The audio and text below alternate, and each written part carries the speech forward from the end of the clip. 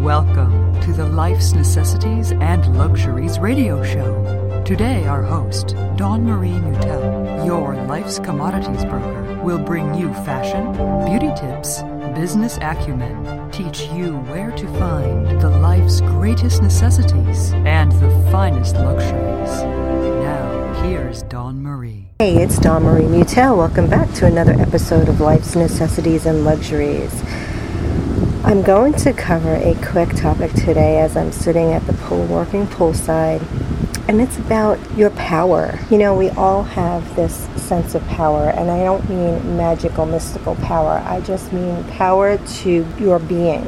I found that I was always very independent and I never really gave away my power until one time when I worked, was with my ex fiance of 10 years. I pretty much gave my power away. And what I mean by that is that I basically let go of my life. I stopped seeing my family, stopped seeing my friends. It was I was always concerned about him and his problems. He was going through a very nasty three year divorce, and his divorce lawyers had me pulled into it and had me doing a lot of um, detailed work for them and so many different things, and it was just overwhelming. It made me ill.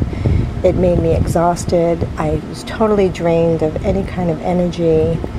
I just felt horrible. And we wind up breaking up. And it was one of those things where I thought, you know, he was going to be the one and we were going to like live happily ever after and all that kind of stuff. So that's why I think I did all of the things that I did for him. I didn't expect anything in return, but I didn't expect to be hurt by him the way I was. And it just really, it really reiterated the feeling that I always had as a kid growing up of saying that, you know, you've got to maintain your power.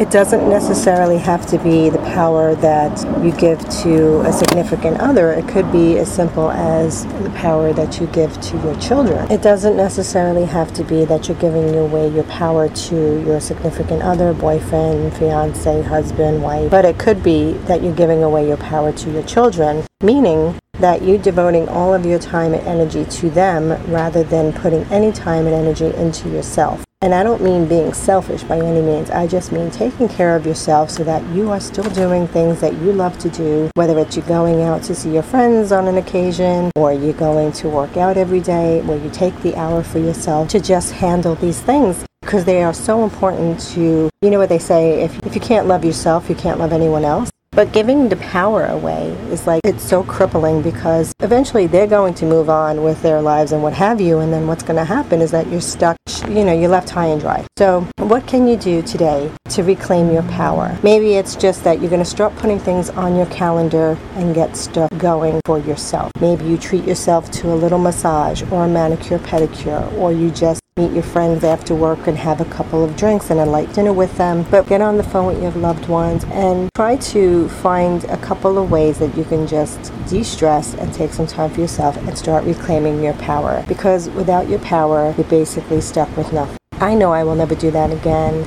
And it's really hard because we get put into these situations and then things become habit, right? So you start doing something once, you do it twice, the next thing you know it, you're doing it all the time. And you got to be really careful because with relationships, especially in the beginning, when you start doing something for them, they just consistently think that you're going to just keep doing it, and that's not necessarily going to be the case. So you may want to put those boundaries up now so that you can handle it, and they may not like it so much, but you'll be ready to move on and do what you have to do to maintain that balance. Well, that's it for today. So I just want you to get your power back if you've given it away. And even if you haven't, be sure that you keep your guards up and your boundaries there so that you know that you will never fall into that ugly, ugly trap. All right. Well, thank you so much. If you like this episode, please share it and be sure to stop at www.lifesnecessitiesandluxuries.com and sign up for the ultimate travel guide. And also, when you sign up there, I have some new things that are coming down the pike that are going to be launching soon. So I want you to be the first ones to know about it. I have a new book coming out and a couple of online courses. So I really would love it if you sign up there and then I can stay in touch with you. And